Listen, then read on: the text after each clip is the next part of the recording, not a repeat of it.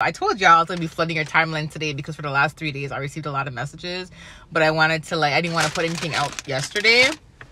You know what I mean? So um yesterday, this was actually not this not this morning, yesterday morning. So Sunday morning, around like four-ish, five-ish, I heard the Holy Spirit say, They're scared. Okay, like they're scared, okay he is talking about the enemies okay? He's talking about the people that have been trying to attack you doing whatever they want to do to you okay?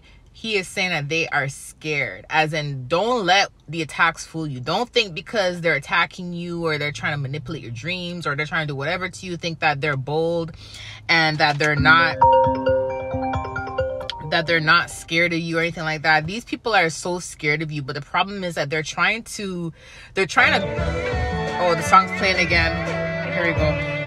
The they're trying to claim their ranking. It's almost like they're trying to get promoted in the kingdom of darkness. So it's they're scared of attacking you because they know god's gonna come back and whoop their butt but it's like they're trying to prove themselves to the kingdom of darkness okay? Even the people who are paying people it's like they're scared. They know there's consequences for their actions but it's the obsession of wanting to see you fail is what's leading them to continue doing this nonsense okay? But i just want to give you the confirmation. God said they are scared okay? This is your confirmation. Don't let the attacks or what you think is happening on external or whatever don't let that get to you. There god says we are not supposed to have any fear cast your anxieties on him. He is directing our footsteps. He is protecting us. He is covering us right?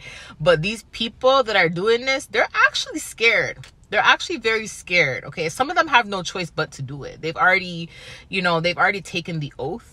So they have no choice but to do it. If they don't attack us they get attacked by the very same spirits that that they're sending to us trying to attack us they're actually getting attacked when they don't com- they don't comply with what the devil wants them to do. Do you guys know that?